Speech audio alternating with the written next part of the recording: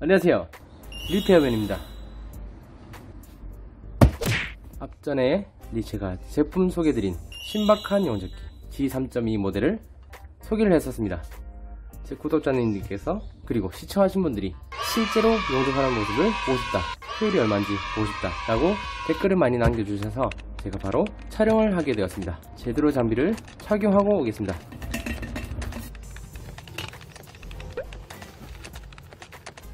이쪽도 마찬가지로.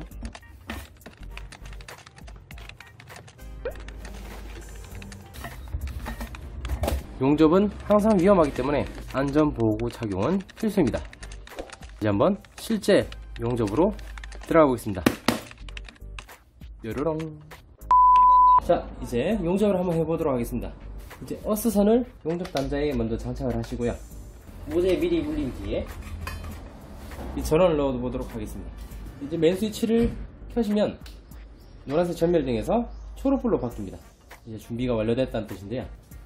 이제 한번 스위치를 넣고 일단 실험이니까 전류를 최대로 높여서 용접을 해보도록 하겠습니다. 자 시작하겠습니다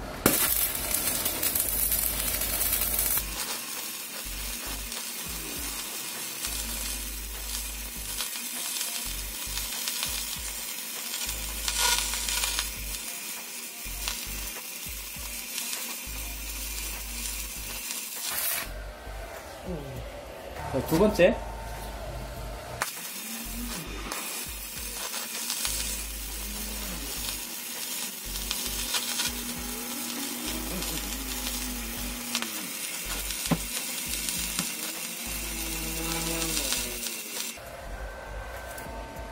세 번째 가보겠습니다.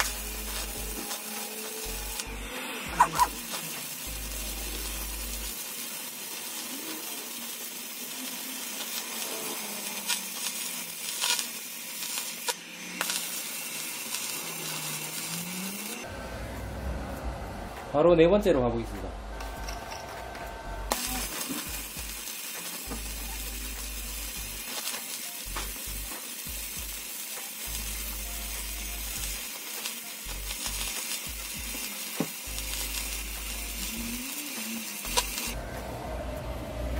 이제 마지막 다섯 번째. 아직까지는 크게 기계에서 이상이 없습니다.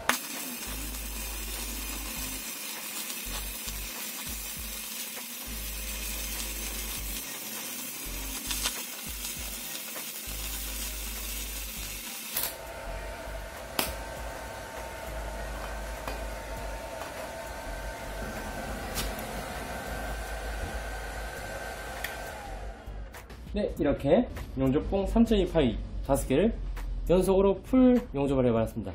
제대로 용접을 하지 못하지만 연속 작업을 한번 해봤는데요. 일반 장갑으로는 용접기가 아주 뜨거워집니다. 연속 작업을 했을 때.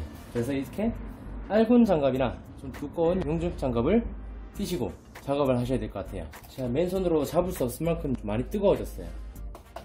이 필터가 빨간 점으로 나옵니다.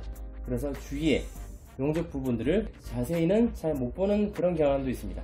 일단 용접은 다섯 개의 용접을 했을 때 아무 이상 없이 된다라고 판명이 났습니다. 자, 이상으로 오늘은 간단하게 실제로 3.28 용접봉 다섯 개가 연습 작업이 되는지 확인을 해봤습니다.